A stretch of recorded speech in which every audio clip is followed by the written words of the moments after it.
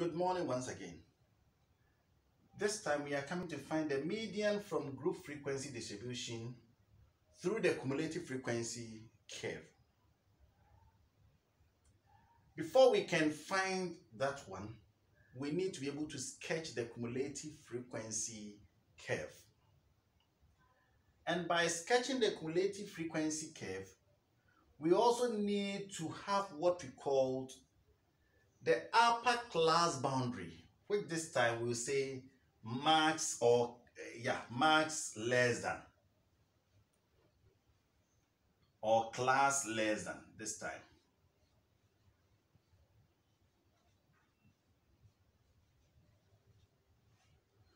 We also need to get the cumulative frequency of each class. So the class less than or the max less than, you know, 5 plus 6, 11, halfway of it is 5.5. So 5.5 becomes the upper class boundary of the first class, which is all mass within that interval are less than that 5.5. The next one, halfway between 10 and 11, is 10.5. Between 15 and 16 is 15.5. Between 20 and 21 is 20, 20.5. Between 25 and 26 is 25.5. And then after 30, the next one would have been 31. So halfway between the 30 and then 31. Or even if you look at, because it's the same interval, the next one is simply 30 0.5. What about the cumulative frequency? The first cumulative frequency, uh, the first frequency becomes the first cumulative frequency. The next cumulative frequency, add the 3 to 5, you get 8. Add the 8 to 6, you get 14. Add 14 to 6, you get 20. Add 20 to 8, you get 28. Add 28 to 2, you get 30. So always the final cumulative frequency should be equal to the total frequency. Now we come to our table, uh, our graph rather. So when we come to the graph,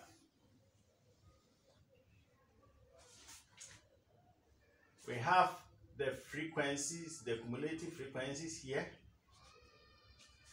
or let's say the frequencies, whatever be the case. Then we also have, yeah, that's the cumulative frequency, and we have our class, our class or our max there. You can see that those are the class, the max section. Uh, let's assume that we have, we start from uh, 5.5, or let me even start from the one which would have been the lower class boundary of the first class, which is 0.5.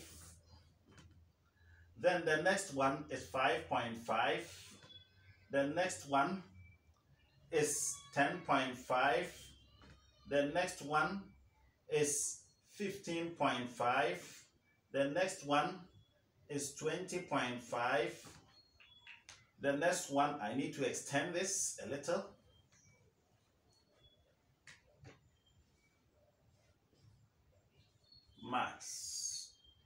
The next one is 25.5 and the final one is 30.5 okay? Now so far as this is concerned let's come to the, the cumulative frequency side. The highest cumulative frequency is 30 so if here is 0 and then we have here say 30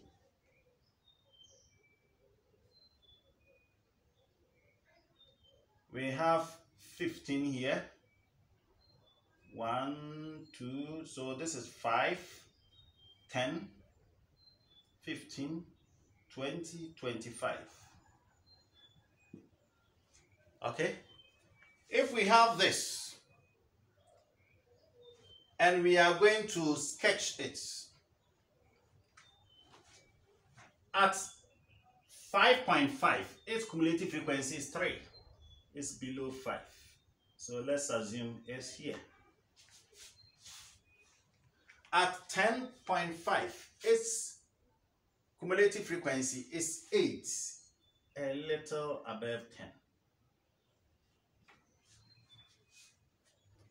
At 15.5, its cumulative frequency is 14. That is right under 15th mark. At 20.5, its cumulative frequency is 20.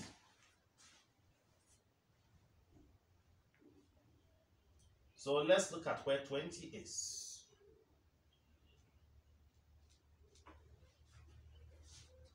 At 25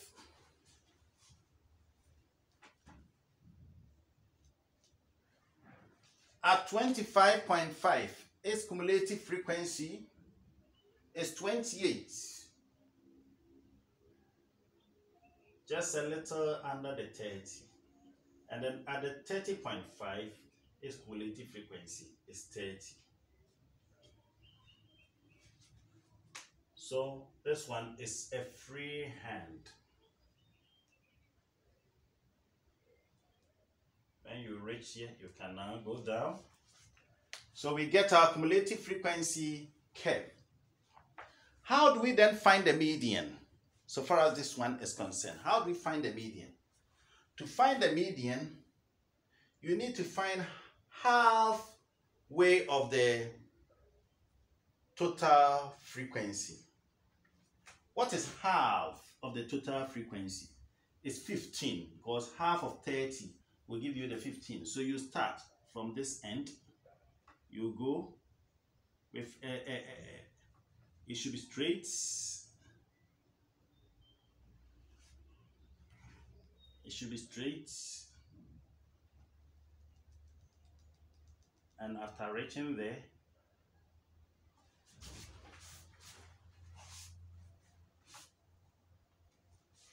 after reaching there, come down. Uh, please, uh, uh, uh, uh let's look at this. 15. So you go that way, straight. -huh. After reaching there, you come down. You see that it will land somewhere around uh, 16 or 16.5. So let's see. Let's say this is 16.5. If you are using a graph and it is so, then we can simply say that the median mark is 16.5. As the median mark is 16. It could also be less than that, maybe 16.1, 16.2, depending. But always, if you are using the graph sheets, there is importance in accuracy. You have to be careful there is importance in accuracy because there is always plus or minus, a small amount uh, of error allowed.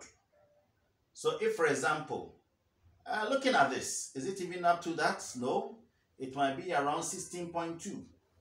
Yes, around 16.2 or let's say even 16. It's very close. So we can therefore say that the median of this figure, I mean, uh, of, of this class, the median mark is 16.2.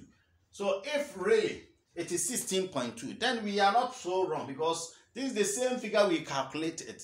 And when we calculated, I think we had something like 16.1. So yeah, it was 16.3333. That was it. So if it is 16.3333, and then we get something like 16.2 we are not far from it. So class this is the little that i want us to be discussing today. Next time we are moving on to other things especially the measures of uh, uh, uh, dispersion and the rest.